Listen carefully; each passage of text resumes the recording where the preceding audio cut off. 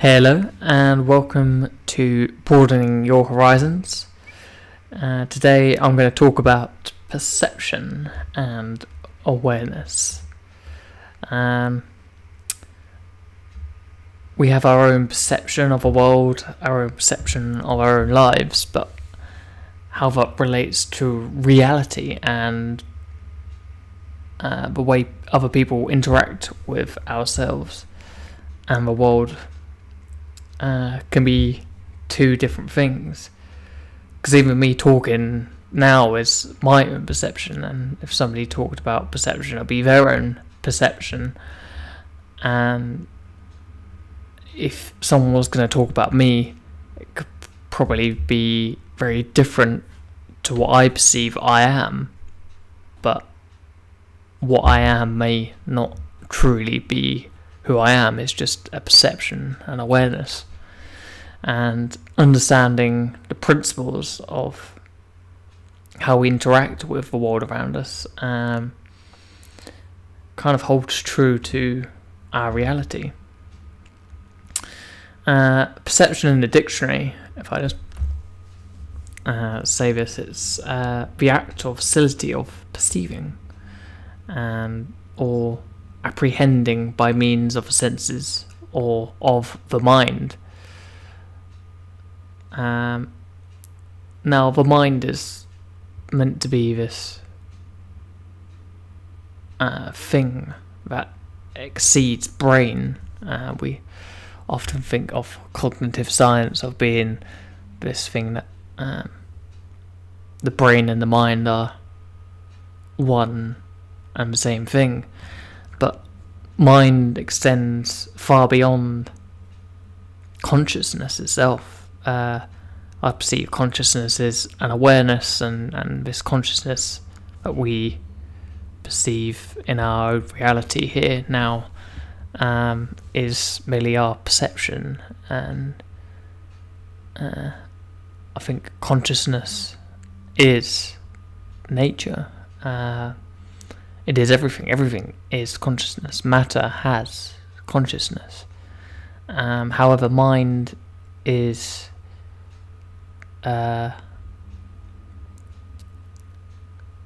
this kind of vessel or instrument we use to interact with consciousness. It, is entirely separate from consciousness itself. Um, and psychology kind of views perception as the act of awareness, um, the sensory perception using our five senses. Um, but we know quite well that our five senses are a an act of or a way we can um, interact with our physical world around us, and we are limited with five senses through our body.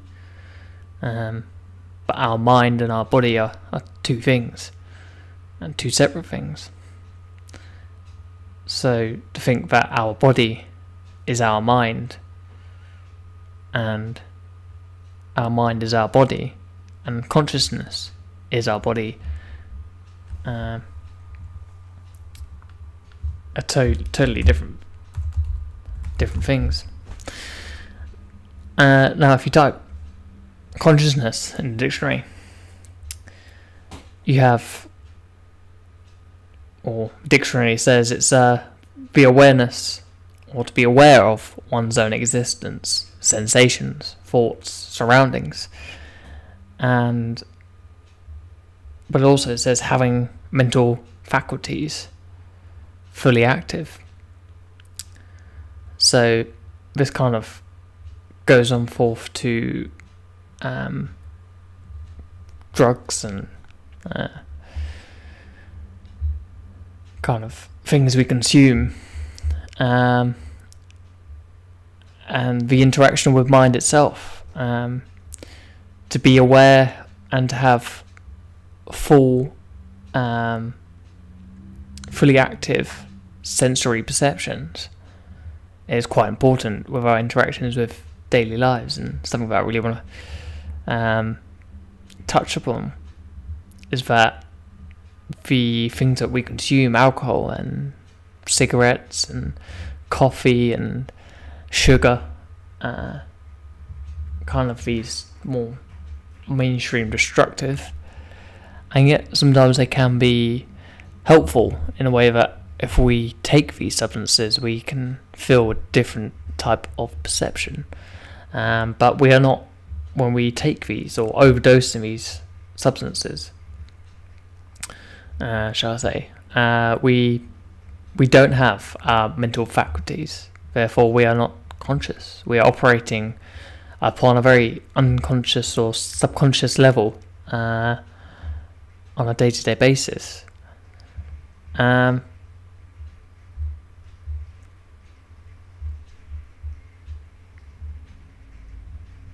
so when we look at media and media around us, I see media as a um, changing our mental faculties about us, changing our consciousness. Um, and when I mean media, I mean you know the television, newspapers, magazines, and every everything. Uh, our films, our um, books, literature, uh, fiction and non-fiction, um, basically creative works of other people, um, how we interact with that uh, really changes our consciousness, changes our mind in a negative and positive way, depending on how you look at it, depending on how you interact with the world. And to be um,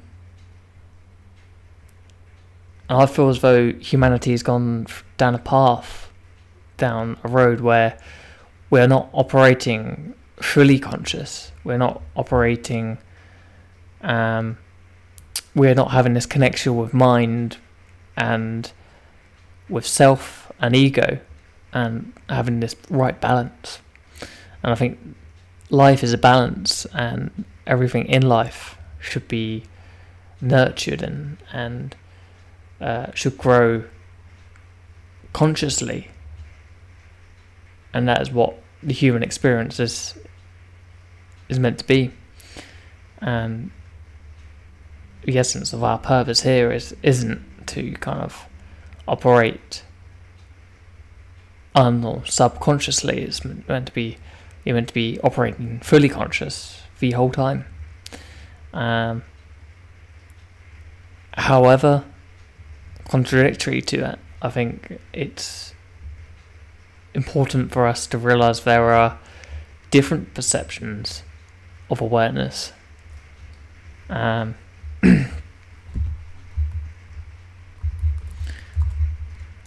and different ways of, of looking at the same thing. Um, for instance, you have the light spectrum uh, that we operate under, and you can, we can with technology these days look at the same object in different spectrums of light, different um, and you can see the heat structure of, uh, say, a piece of fruit or um, a human, the aura of a human. Uh, you can look at a human through different wave spectrums of, of light and um, the electromagnetic spectrum or frequencies. And I think the same thing can be applied to uh, perception and awareness and consciousness is that we can look at the same thing through different perspectives, through different um, points of reference, and we can get a different result, but essentially they are the same thing. Um, it is still a piece of fruit. It is still uh, a human aura or a human being, and yet we are just viewing it in a different in a different way in a different uh, aspect. And I, I feel media itself is a a way of interacting with essentially the same same thing, the same um, identity. And, and when I mean the same, I don't mean uh, let's use a specific example of, of looking at uh, politics. Uh, you view politics and the ideologies of politics, saying left wing, right wing, and uh, other different spectrums, and I, I don't mean that essentially all the uh, ideologies and politics and are the same same thing. I mean, they are looking at different aspects of the same thing. So, uh, if you look at the electromagnetic spectrum or frequencies as um, consciousness itself, or the or and beyond that is the mind. So you have the electromagnetic spectrum that we can perceive, and then beyond that is the mind. So the ones that we can perceive and ones that we are accessing.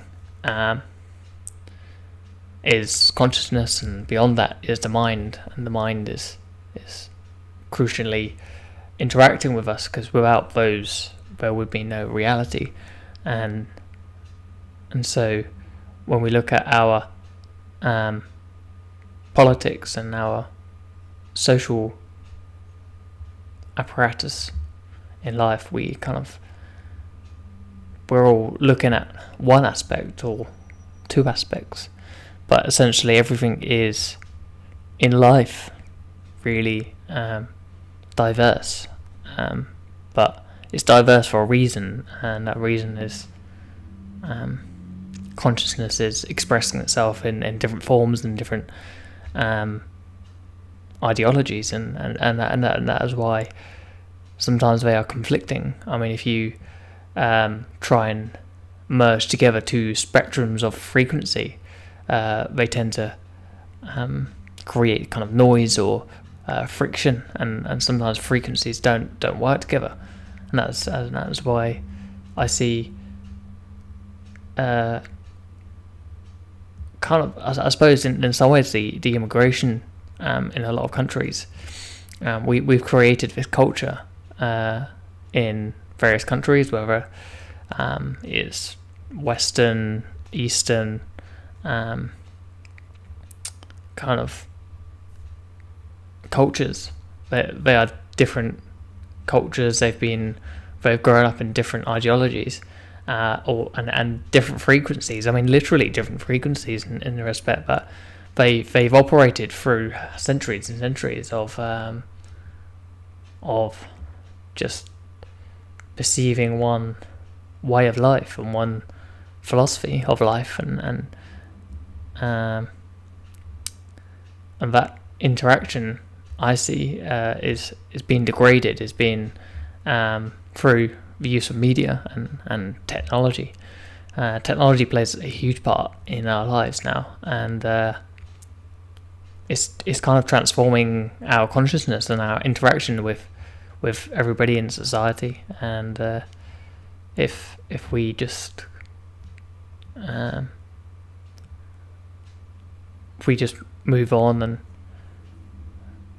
and we're not aware of that and we just kind of run at technology and media in a way that we're not fully conscious, we're not fully aware because we're, you know, taking all these substances and we're all um, being integrated to this kind of cohesive culture um, where the friction of, of different frequencies are coming together through these different cultures coming together and it creates more friction because these ideologies really they don't work together. They don't um, or, or or say at the moment we haven't found a way of working together um, just just like uh, a song needs a way of of balance for it to work, for it to um, sound nice. And if you have uh, classical music um, mixing with uh, kind of heavy metal, it, it can work in one respect, but it might not work if if you don't think about it consciously and you don't interact with with the frequencies and music and, and melodies and lyrics, if you don't think about all these things and depths, uh, it can just turn up in the mess. And and that that is what I feel perception and awareness is is that we need to interact with society in in a in a way that we can um, understand and but at, at what level this this happens at is an individual level and the level that you interact with people around you and not with trying to um,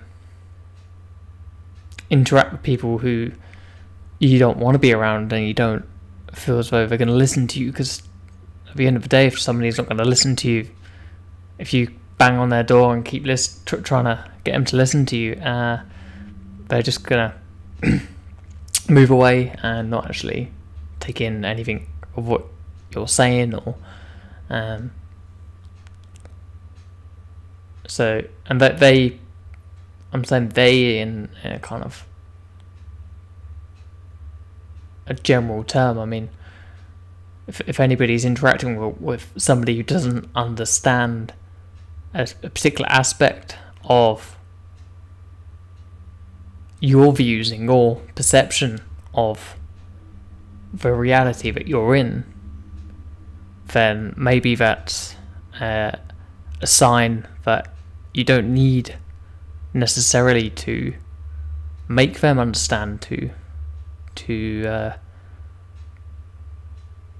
because because we all operate on an individual basis in respect that no. I don't.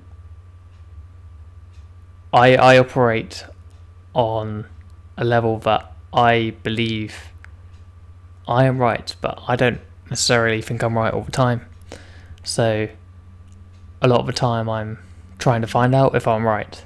And yet somebody may operate on a level that they think they know that they're right and they're never seeking to know what right is or they're never seeking anything. And I think that seeking is important in terms of perception and awareness. Is that consciousness is this this thing we operate in and and um,